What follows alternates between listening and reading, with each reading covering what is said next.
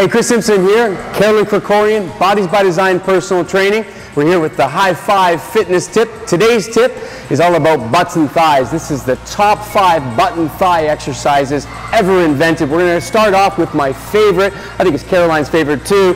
It is the common squat if I had only one exercise to deliver to our clients for a butt and thigh exercise, it would be this one.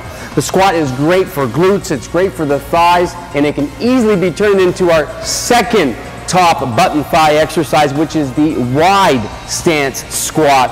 So just taking a dumbbell and placing it between your thighs and going to that horizontal position where the knees and hips meet, this is how you do the wide stance squat. Great variation. And number three, in the top glute and thigh exercises has to be the stationary lunge. I think this one works the glutes a little bit more than it works the thighs.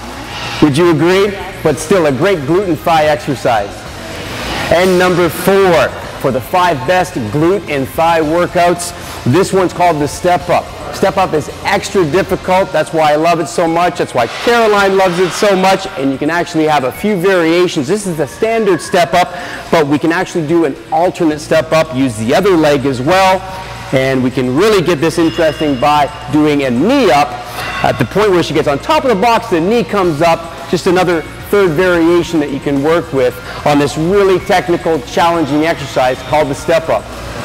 Number five on the top five glute and thigh workouts is actually a circuit of three different exercises. You can see Caroline is doing a fire hydrant, a straight leg kickback, and then a kick up. This is a great way to end your workout.